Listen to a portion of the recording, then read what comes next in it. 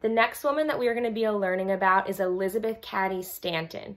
She is a woman from the 1800s who really stood up for women's rights in some pretty unique ways.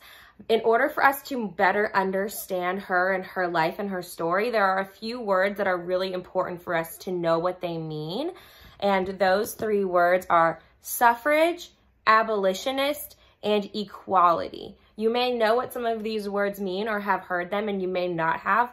So I'm going to have you think about what the words suffrage, abolitionist, and equality mean.